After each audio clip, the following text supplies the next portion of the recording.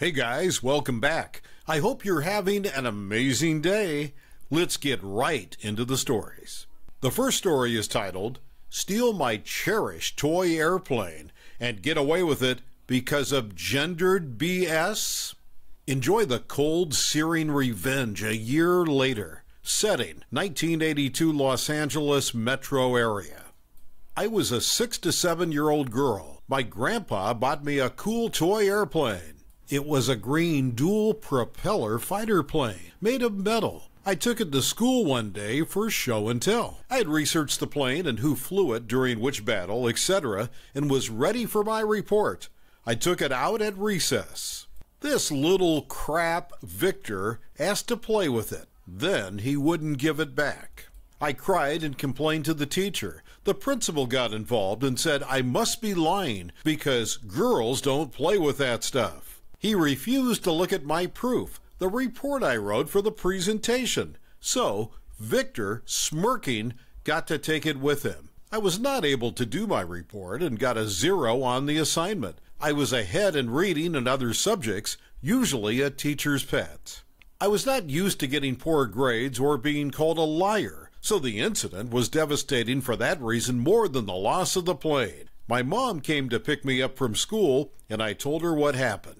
She immediately parked and stormed the principal's office and tore him a new one. We showed him my notes for the report. He apologized and went to look for Victor. Well, Victor was gone by then. The principal said there was nothing the school could do to make him give it back. I was pissed. I was like, can't you give him detention until he returns it? But they were wimps about it and told me to drop it. Victor would make airplane noises and make his hand into a little airplane around me when no one else understood what he was doing. He was a little sociopath. I hated him, but was pretty powerless about it. Fast forward about six months. My mom started working 16 hour shifts on weekends only, and I would get babysat for the whole weekend, spending the night. I was at one couple's house for about a year, but they tried to baptize me against my will without telling my mom. She was pissed and fired them. She had to work the next weekend and was desperate for a babysitter. Fortunately, a friend pointed her in Consuela's direction. Consuela, let's call her C, was a 50 something year old grandma with a hundred kids at her house. She would watch at all hours. She had a bunch of teens and 20 something year old boys of her own. She was originally from Mexico, and they spoke almost exclusively Spanish. C was a hard working woman. She also had a full time job during the weekdays and did great with the kids. But she had a temper. Her boys were slovenly and would mope about. She would holler at them. When she hollered, we all fell in line. Or you got the business end of her wooden spoon. Sometimes she would yell at me, but I didn't understand as my Spanish was pretty rudimentary. I was taking it in school and had quite a few Spanish speaking friends, but when C would yell, I would get stressed and not understand. I usually would just hide under the bed and stay out of sight. I realized after a while that C was mostly bark and got used to her after a while and learned how not to piss her off. She called me her good girl, and I rarely got in trouble. But I harbored some hard feelings toward C, as you can imagine. One Saturday, after about six months of staying at C's house on weekends, Mom drops me off, and who do I see in the living room but Victor? I was like, oh, hell no. Now I have to be around this little crap and try to avoid getting yelled at all weekend. Ugh. But then a plan came to me. I observed that Victor didn't speak much Spanish. He was half Mexican, but lived with a non Spanish speaking parent after a divorce, and he was out of his element. Gone was the smirking butthead. He had big eyes full of fear. The first time C went off on one of her boys in front of Victor, he was stunned. The son got fired from his job, and when he told her, she chased him around the house with her spoon. He was twice her size and was completely cowed by her. Victor surmised that if that big guy was scared of C, then he better stay out of her way. C was a great cook, but she used the cheap cuts of meat and cut corners to feed all those kids. The next day, after Victor started coming, a Sunday, she gave us sandwiches for lunch. As an adult, I love avocados, but as a kid, I thought they were grody. She handed us a chicken gristle with a huge slab of avocado. One simply does not refuse to eat C's food. It is a surefire way to get hollered at. Victor ate his in the other room unobserved by anyone. I took a few bites in front of C to show her I was eating it. I looked for a way to dispose of it, like give it to the dog or something like I usually did when I didn't like what I was given, but the dog was out with one of C's sons. Then the plan all came together. C's son, who was at home watching TV, got up to go to the bathroom or something.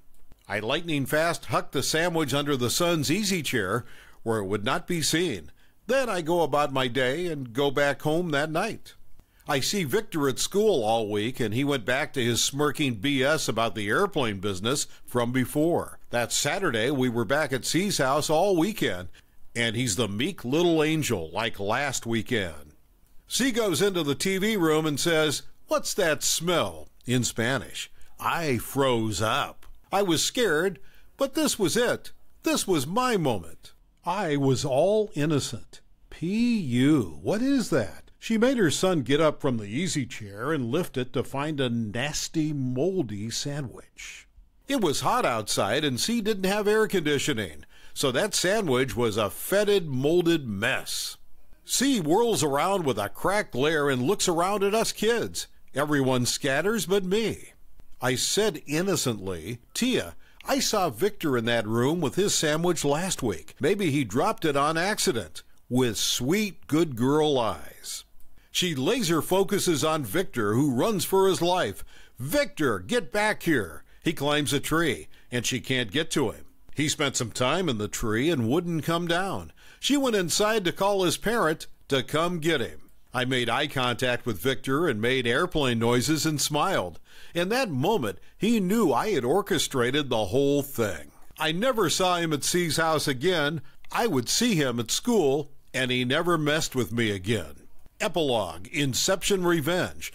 When C came back into the backyard to tell Victor his parent was coming, a dead mouse got flipped into her shoe, flip flops.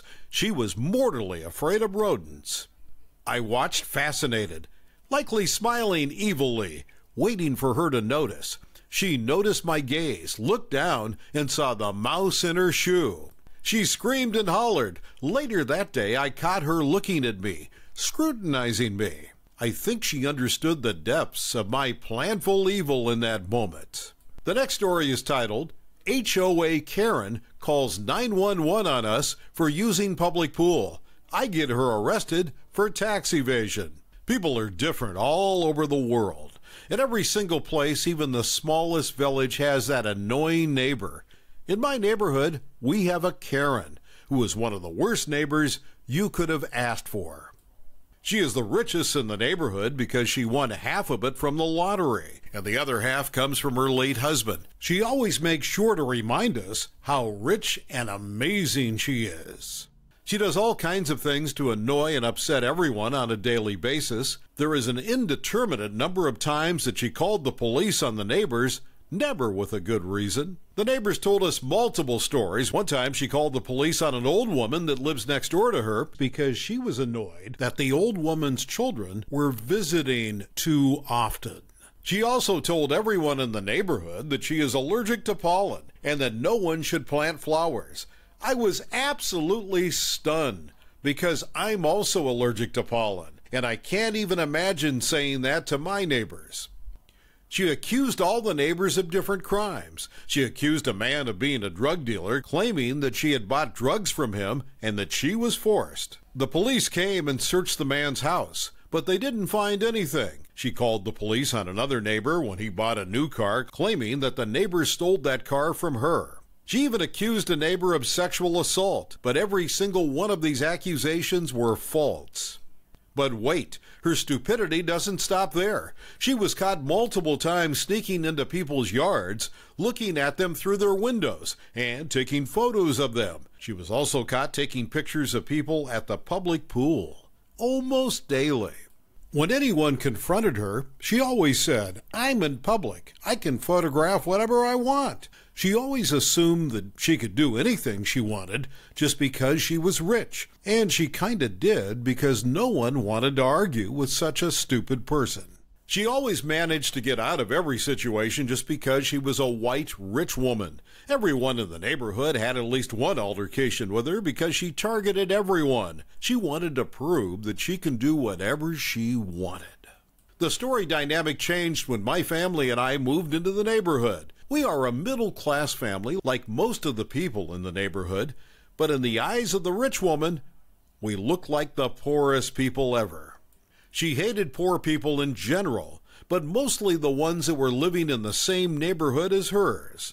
Our family consists of my mother, my father, and my brother and me. I was 16 years old at the time of the story, and my brother was 10 years old. One day she came to our house and knocked on the door aggressively. My mother opened the door. Hello, can I help you? My mother asked. Yes, you could help me by moving somewhere else.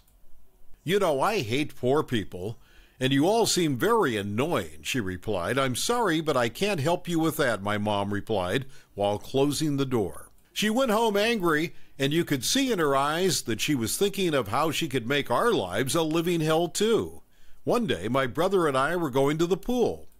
She was sitting on her porch, apparently selling lemonade. I decided to be the grown person and buy from her. We entered her yard and looked around. Two cups? she asked. Yes, thank you, I replied. It's cool. What are you doing here? I added. The lemonade stands, she asked. Yes, it's awesome. Do you do it every year? I asked. Yes, every summer with lemonade and all year with other drinks, she replied, preparing our lemonade. Oh, a small business. I love it. Are the taxes big for something like this? I asked. I don't pay taxes for it. It's just a stand of drinks, she replied. You asked too many questions, boy, she added. I didn't reply as I felt that this information was good and I could use it any time needed. We paid for the lemonade and went to the pool. We noticed that she walked behind us until we arrived at the pool. She then took a seat somewhere close to us. She took her camera out and started taking pictures of my brother as he was swimming in the pool. Every time she saw that I was looking towards her, she pretended to do something else. I didn't know the purpose of what she was doing was, but I had to stop her. What are you doing, you creep? I shouted. Photos at the pool. Am I not allowed to? she asked. You were taking pictures of my brother, I replied, screaming. Give me the camera, I added. No, get away from me, she shouted. I grabbed the camera from her hand and started looking through the photos. I was right. She was taking photos of my brother. I never wanted to be a bully because I knew how bullying felt, but I had to do it. I showed everyone the photos, and we all laughed. I tried to make her feel bad and realize the severity of the problem. As an answer to outbully, she called the police on us telling them there were some thieves, some bad kids, that trespassed and came to the pool. She told the police that the thieves were harassing her, making her and everyone at the pool feel unsafe.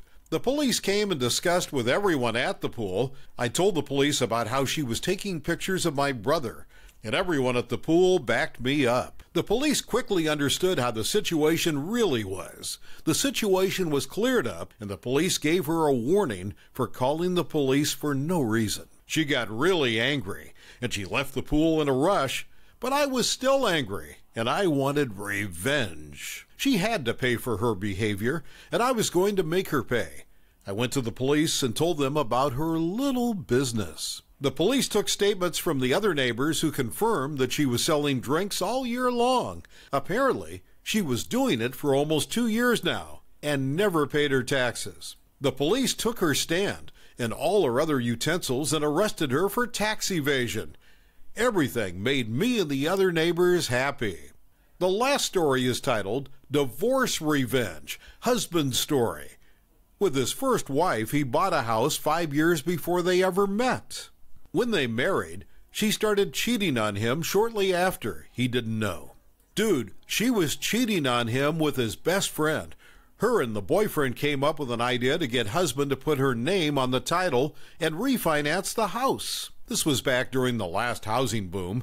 She ended up spending the money on her and her boyfriend. During this time is when he found out they were together. He kicked her out and started divorce proceedings. She had legal connections, so basically took him to the cleaners. In the decree, stated he had to refinance and get her name off the house. By that time, the housing market had crashed bad, and he was not able to refinance, even after trying several times. As years go by, and he had moved out of state, but kept the house as a rental since he couldn't do much with it.